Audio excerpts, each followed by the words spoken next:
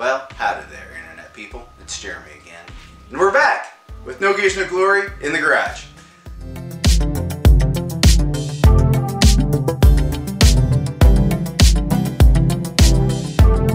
Today we're going to be working on something a little bit out of the ordinary. I don't know if you're very familiar with DML speakers. Uh, these are a type of speaker that you can uh, make yourself out of some pretty ordinary materials. This is going to be some of the materials that we're using and we're going to turn them into a speaker. I saw these on the internet a couple of years ago and I've been pretty interested in trying this out myself. One, because I used to sell audio equipment years ago and so audio equipment has a little bit of a special place in my heart and because the sound quality is supposedly pretty fantastic. Let's get started on uh, building these things and seeing what we need. All right, here we go. This panel is actually a foam panel that we got from Home Depot. It's very light and it allows for uh, a structure to be rigid enough to uh, stand up to the vibration of creating music, but light enough so that it can recreate music accurately. Uh, those are two really important characteristics of a surface to be light and rigid so that you can recreate music accurately. Here is our audio exciter. This is going to act as our speaker and then uh, it's attached with a 3M adhesive on the back here. We're going to drill a couple of simple holes in the top of it so we can put these eye hooks on it and be able to suspend it so it can move freely uh, recreating music, speaker wire, and resin to fill the holes that we drill for the eye hooks. Now one of the first things that we want to do to prep the panel for this process is we're going to pretty it up a little bit by cutting the corners off and rounding them out. It looks a lot nicer so that's what I'm going to do is I'm going to follow that suggestion. So uh, here's that process. Come along. I'm going to use this bucket to create a template for uh, a curved edge. Now that we have our curves, we just have to cut it off. There's a couple different methods you could use. You can use a, you know, a, a, a box cutter. You could use any kind of knife. I myself found that uh, when I did some tests on a, another panel before I started this video, I found that uh, a hacksaw worked really well. So I'm going to go with that.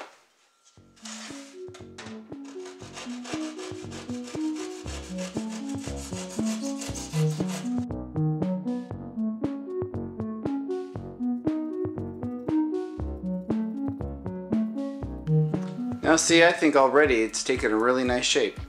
Although some of those cuts were awful. Don't judge me. So our next step is going to be actually sanding down these rough edges. There's actually a pretty coarse edge of foam right here that you can sand down real nicely and make it quite a bit more uniform. So here we go.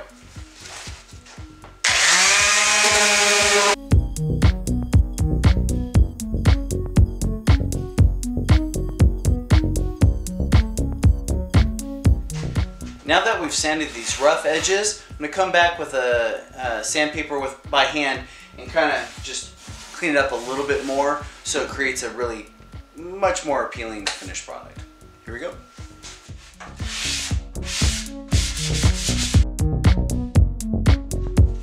Make no mistake, you are dealing with foam.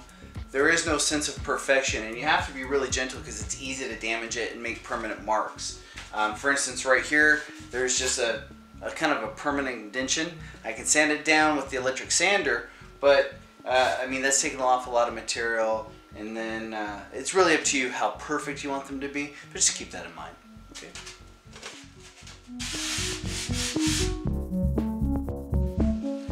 Now in my case, I'm using a 220 grit sandpaper. You could use uh, a higher grit if you like, but this seems to take off the material at a pretty good rate and uh, it's also what I had laying around.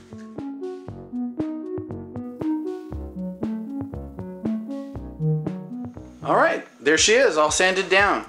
Looks pretty symmetrical. It's not perfect, but I'm pretty happy with it overall.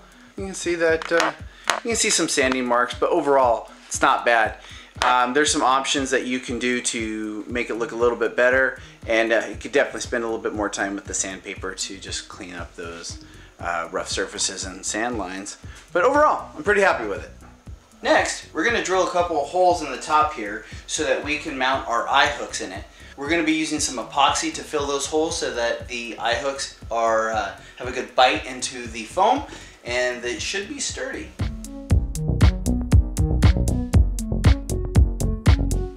So in our next step, we're going to be mixing the epoxy. What I have here today is West Systems slow drying epoxy. Unfortunately, we'll mix it today and we'll have to wait till tomorrow to be able to continue after we've put it in the panel. This product is mixed at a one to one pump ratio, so the mixing is actually done for you. It's super simple. Here we go. Now, one tip to remember is when you're putting the epoxy in the holes, these are really small holes, and the epoxy has to work its way down. So you're really gonna have to put it in slowly and let the air bubbles come back up. Once you feel pretty confident that the air is escaped, you're gonna put the eye hooks, in our case, in there and uh, set them in place. And you wanna remember to turn them in the direction that you feel will be aesthetically pleasing or make the most sense for when you uh, plan to hang them. Okay, here we go. Now in our case, I'm using this little syringe that we had laying around the house uh, from feeding pets medicine. So that's gonna work out nice.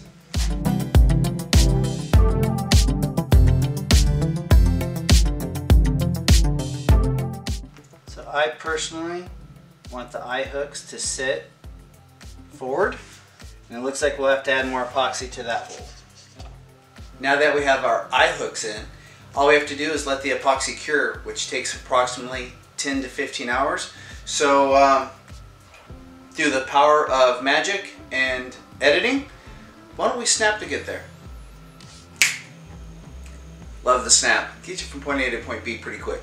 All right, so we have two panels. I went ahead and reproduced a secondary panel uh, to match using the same process. Our epoxy is dry. Unfortunately, I had a little bit of uh, spill, so it did leak down here, so there's a little bit of that. Uh, we may work to cover that up later. But mostly, we're just working on trying to find the functionality of them. How good are they? The next thing we're going to do is we're going to find the proper placement for the uh, DML uh, exciters that go on the back. There's a kind of a ideal placement of uh, one of the exciters, which is going to be a 2 fifths, 3 fifths, uh, positioning on the back of the panel. So this is roughly 24 inches. So 2 fifths would be roughly here.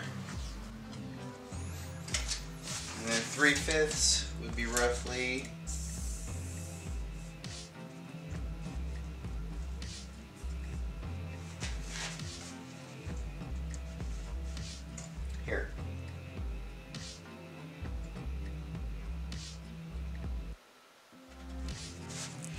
So we'll place our audio exciter right here. Now we'll just repeat the same process on the other panel. The audio exciter comes in a box like this. Okay. Has the adhesive side up and uh, comes in nicely packaged foam so it ships really safely. It has an adhesive 3M tape on the backside that you peel off before you put it on the uh, surface of the panel. Here's your wire connections, which are pretty simple.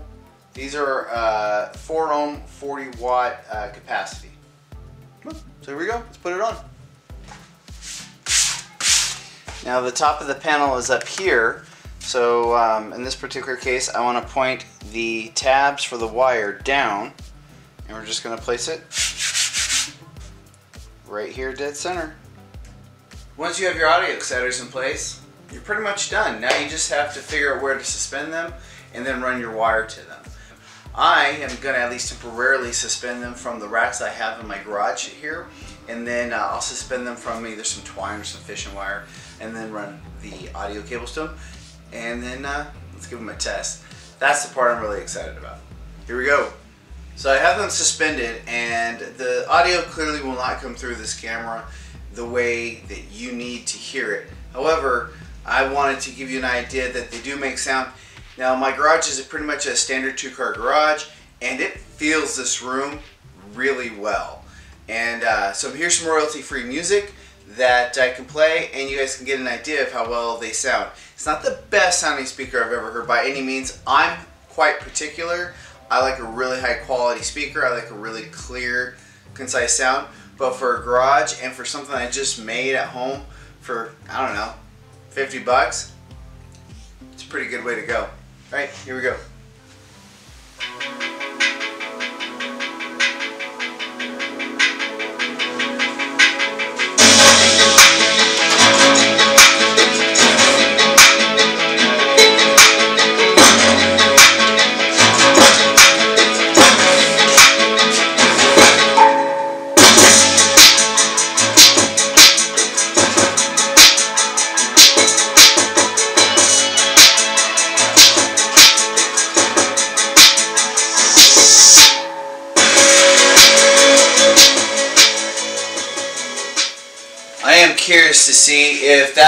Picked up. There was a lot of crackling because I had the volume trimmed out pretty high. Um, that was interesting.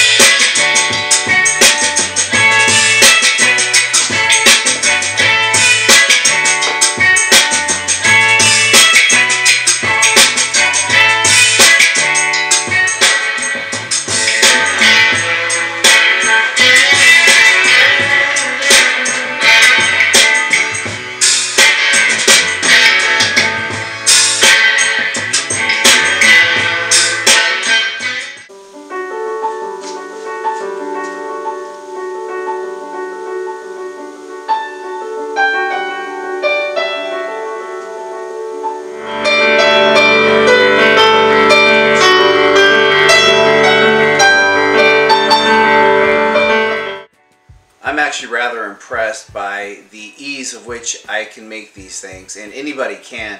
It was super exciting to find the videos that led me to this, and it's been pretty fun creating these in my own garage. Being able to have some high quality sound, um, or reasonably high quality sound in my garage while I work. Uh, this has been a pretty fun project. I hope this inspires you to maybe test this out on your own. I encourage you to look into the Tech Ingredients channel where I found this and he makes a great video. I definitely recommend watching that. Thanks for joining me here at Know Gears Know Glory. I appreciate your time. I appreciate you watching, and I appreciate the fact that I get to play here in my garage and uh, bring this content to you guys in hopes that somebody, maybe even you, enjoys watching it. All right, you guys take care. We'll see you soon next time here at Know Gears Know Glory.